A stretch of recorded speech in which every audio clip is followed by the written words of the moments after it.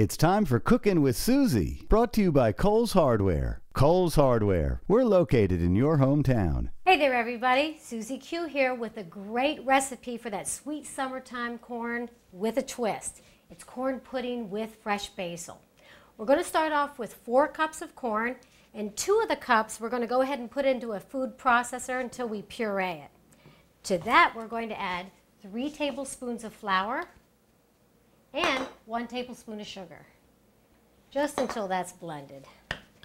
And we're also going to add one fully packed cup of basil leaves, torn, just, just to release the flavor. And I know that seems like a lot, but trust me, once you get that in the oven, it takes on a real savory, subtle flavor.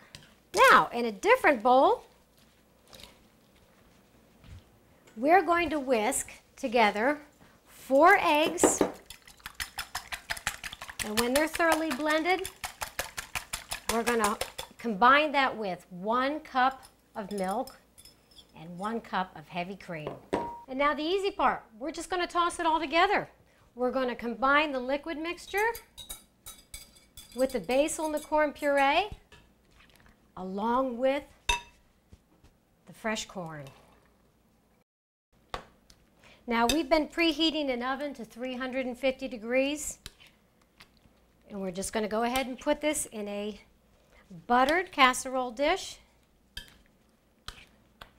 and bake it, oh, for about 45 minutes to an hour, just until the center is firm.